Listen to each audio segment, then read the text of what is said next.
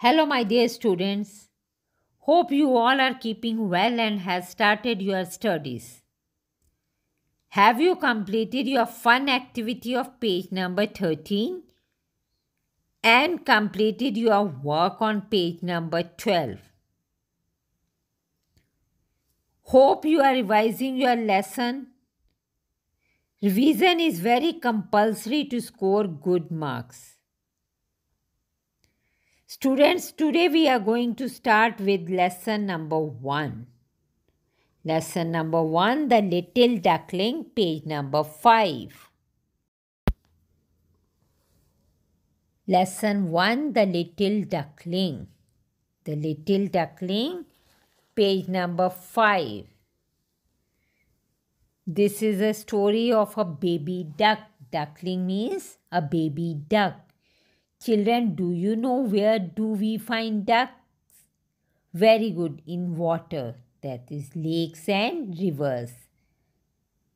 In the picture, we can see a duck and a sparrow who is sitting on a tree.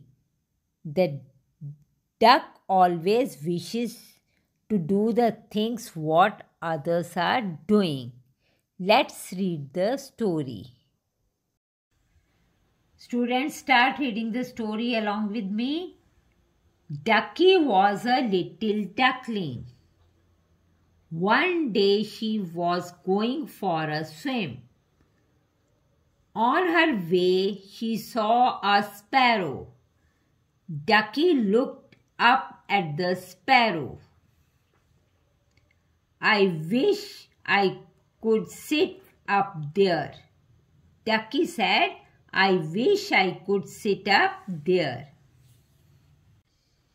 The sparrow said, You need strong feet like mine. Do you have strong feet? Ducky looked down at her feet.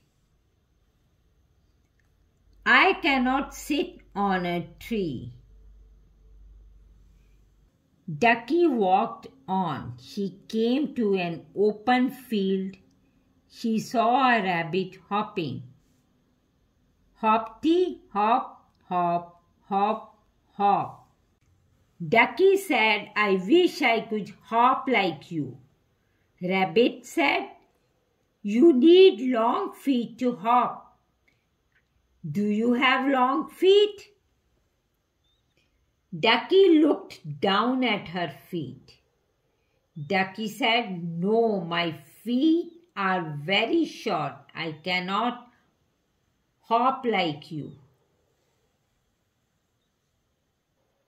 Ducky walked on. She reached a farm. She saw a hen scratching the ground for warmth. Cluck, cluck, this is the sound of the hen.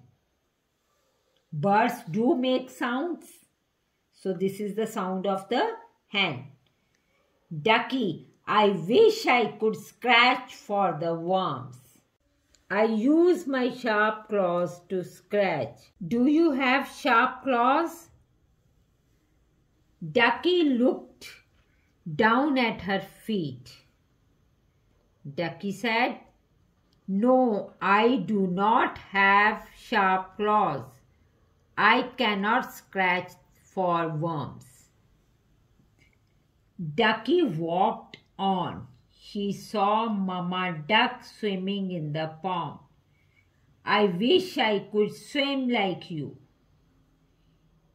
Quack, quack, come in and try. Mama said, quack, quack, come in and try.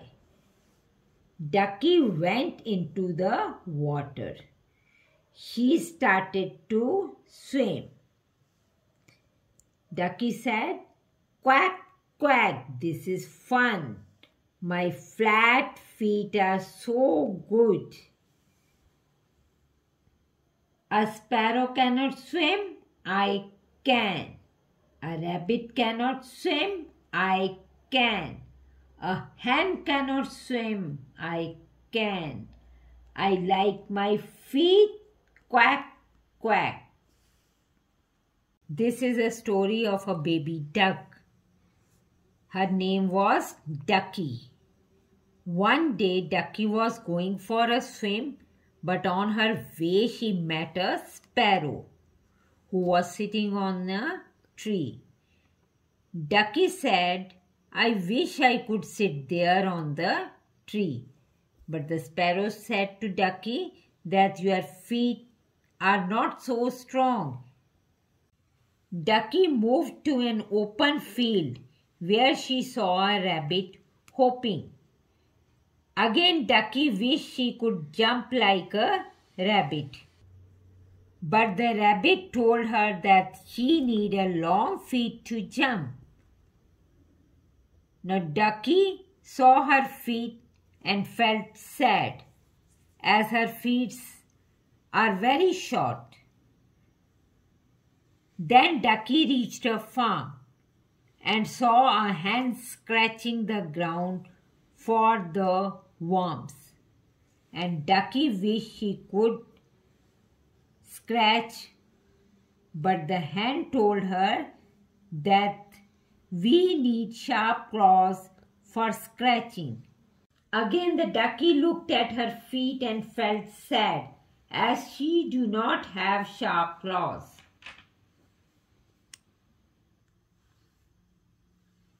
Lastly, Ducky moved to Mama Duck who was swimming and Mama Duck told Ducky to come in the water.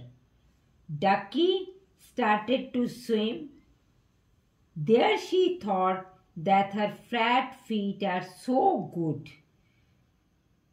as she can swim. Then she said, A sparrow cannot swim, but I can. A rabbit cannot swim, but I can. A hen cannot swim, but I can. I like my feet.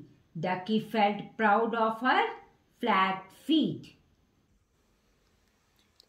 Students move to page number 8. Page number 8 comprehension. Write the date at the top of the page. Write down the date at the top of the page. Comprehension.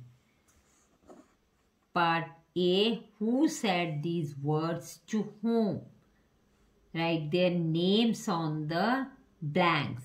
Who said these words to whom? Write their names on the blank. Number one, you need strong feet like mine. You need strong feet like mine. Who said? First one is already done for you. Sparrow to ducky. Sparrow to ducky. I wish I could hop like you. Ducky to rabbit. Ducky D will be capital D U C K Y. Ducky to rabbit. R A double B I T rabbit. Number three. Do you have sharp claws? Hand said to Ducky. H capital H E N hand to Ducky. D U C K Y. Ducky D capital.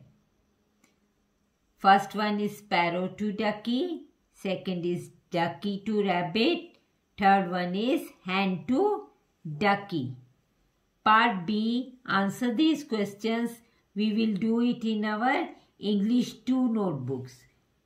Question answers we will do it in our notebooks. Play with words. Part C.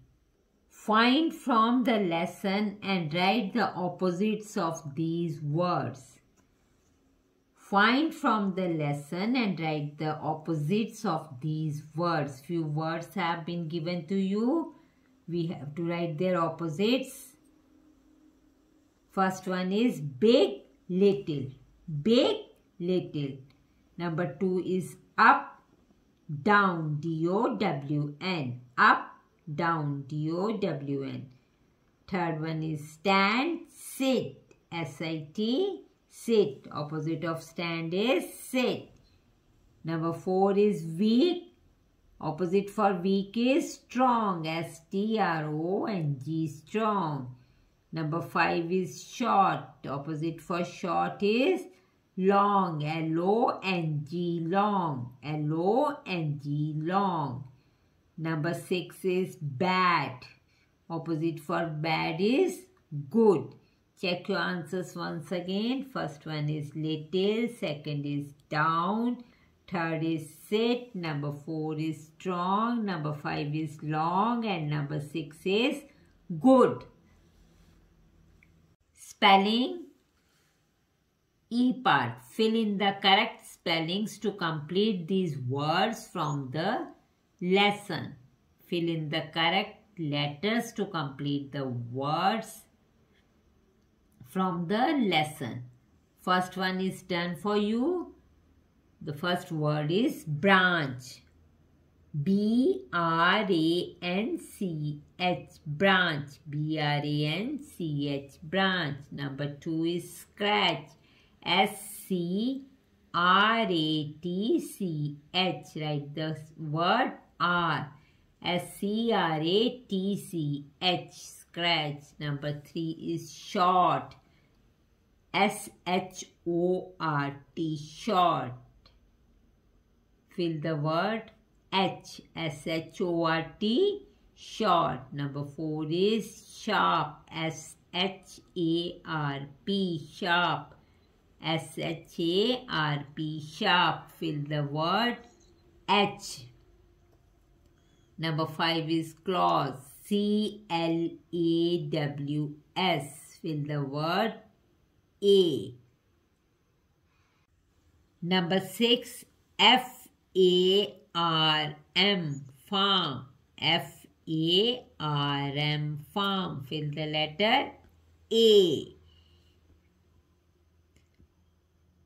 First is branch, second is scratch, third is short, fourth is sharp, five is claws, number six is farm. With this, we have completed the comprehension part question answers we will be doing in our English 2 notebooks.